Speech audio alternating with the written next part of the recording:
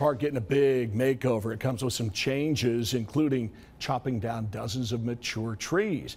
It's part of a big plan approved by City Council after feedback from people in East Tennessee. One group loves the park, doesn't want these trees to come down. They're sharing their thoughts with our Ashley Boley. You found there's a wide variety of opinion on what's going in and what has to come out.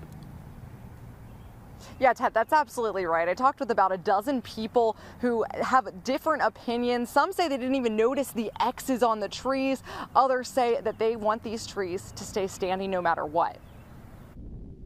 I hate to see them go. I'm totally against cutting down any trees unless it's absolutely necessary.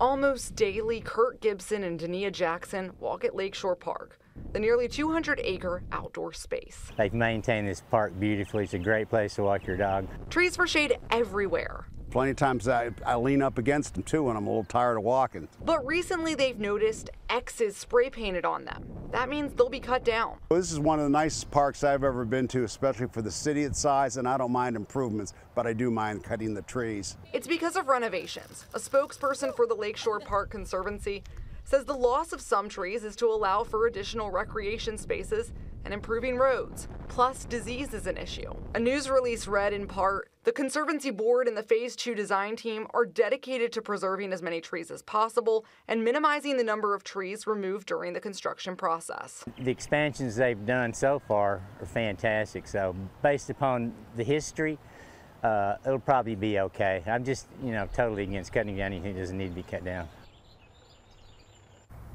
The Conservancy is expecting to add about 700 more trees to offset the ones that will be taken down. All right, a lot of things being taken out of the park. Remind us again, Ashley, what is going into the park? What's new? Yeah, we're going to be relocating those baseball fields, adding a pickleball court, even an outdoor basketball court, as well as some other projects happening as well. All of this set to be completed by January 2024. All right, Ashley Boley, thanks.